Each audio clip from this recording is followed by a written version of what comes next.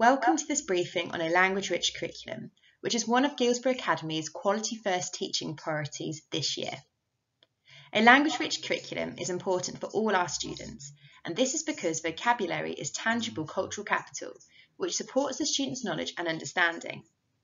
Sufficient vocabulary enables higher order questioning, where students can verbalise their learning and ask questions to extend their understanding. Research by Alex Quigley asserts that genuine comprehension is secured when a reader understands 95% of the words within a text. And where literacy skills are underdeveloped, a significant barrier to learning is posed where the reader, and in our case students, cannot comprehend the words that they are reading. The example on this slide shows a piece of text with 75% of the words showing. And while 75% sounds like a significant percentage, you can see that the meaning of the text is largely obscured and hard to decipher.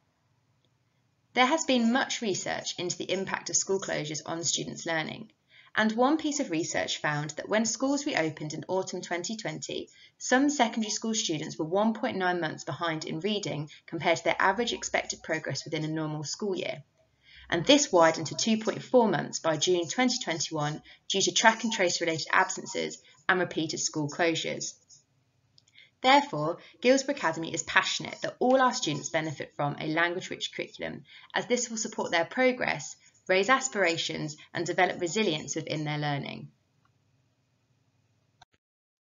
Last year, we purchased a programme called Literacy Assessment Online. This programme allows us to assess students' reading and spelling ages. We are aiming to assess the students' reading ages three times a year and this data is shared with all our staff via a centralised mark sheet and on students' special educational needs passports where they have one. Reading age data is particularly useful for teachers to ensure that the resources and texts they are providing in class are accessible for all our students. This data is also used to identify students for literacy intervention, for example, small group tuition and programmes such as Fresh Start and Lexia. Importantly, by assessing the students' reading ages several times a year, we can monitor their progress and measure the impact of the interventions we put in place to support them.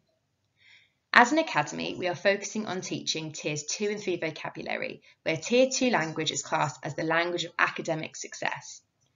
Tier 2 words are commonly presented in textbooks and exam papers, and they are typically words that students recognise but cannot always define, such as analyse.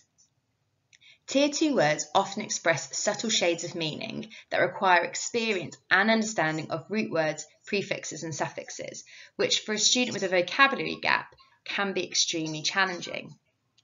Tier 3 vocabulary refers to subject-specific terminology. We also embed reading within our registration programme, with students completing silent reading or activities within guided reading programmes once a week. We began guided reading last academic year and we were thrilled with its success.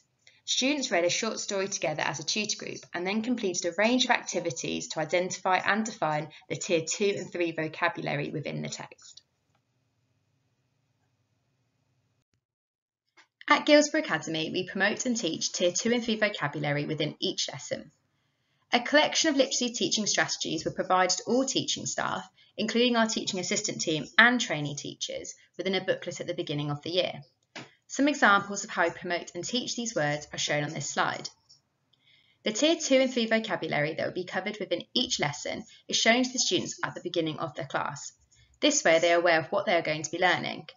We have found that providing this information in advance allows the students to identify key terminology throughout the lesson. Within the classroom discourse, we use different tiers of language to create exposure, for example, we use the phrase, can you distribute this please, rather than can you give this out please. We encourage students to say it again better within their written and verbal speech. We expect and encourage the students to use full sentences with precise vocabulary rather than woolly words like stuff.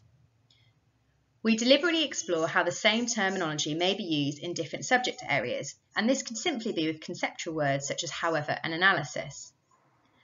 Departments are also working on creating subject-specific terminology lists to provide the students at the beginning of new modules. Ofsted states that better literacy levels improve students' self-esteem, motivation and behaviour. And this is a belief that Guilsborough Academy also advocates, and we reference within our literacy policy. This is also evident within our Year 7 and 8 student planners, where a copy of the Academy marking literacy grid is shown.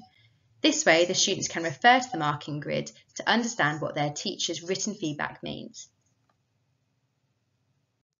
Finally, we have also purchased access to the Sora app, which provides students with access to thousands of free ebooks and audiobooks. Importantly, the app also provides a dyslexia-friendly screening function to support those with dyslexia. Students can log on to Sora via the link shown and using their usual school credentials, so please do encourage your child to log on if they haven't already. Importantly, the student voice that we collated last year identified a 30% increase in the number of students who describe themselves as reading for pleasure, so we really hope to maintain this interest this year. Thank you for listening.